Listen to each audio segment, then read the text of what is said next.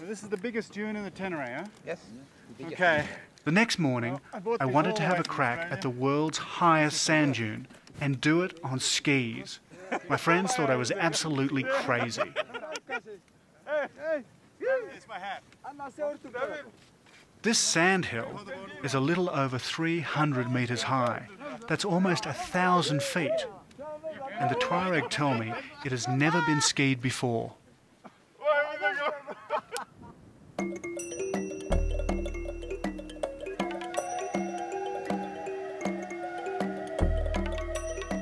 Trouble is, the nearest ski lift is over 2,000 miles away, and it was hot, very hot.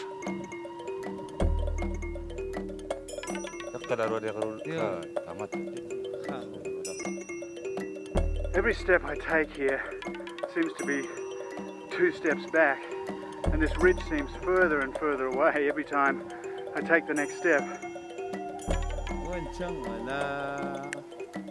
I stupidly didn't bring a hat or a water bottle, which is the cardinal rule here. So I'm just melting.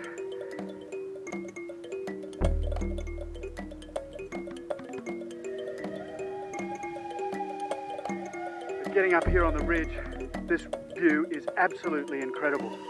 These dark ridges behind me that just burn in this sun, and then dunes away into the distance across this amazing crater. And I can see everything.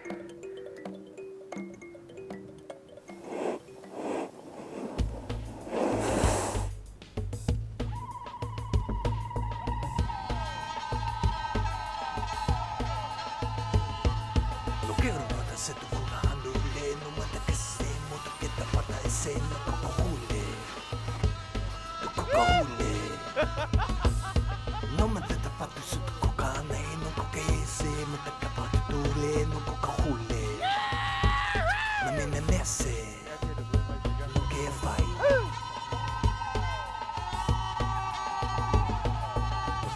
quiero mata se tu pata ese no cocamba e no cocohule tu cocohule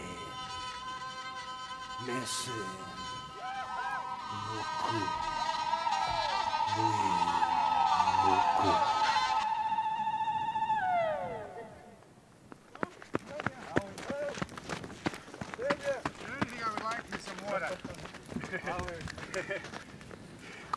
Do anything I would like for some. Very. Fantastic.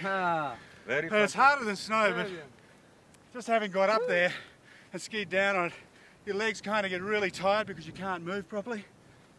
But I don't know if anybody's done that before, but um, my hat, off, hat off to them if they have. Oh, and I'd love some water, please, somebody. See, I've been really stupid not taking it up. Oh.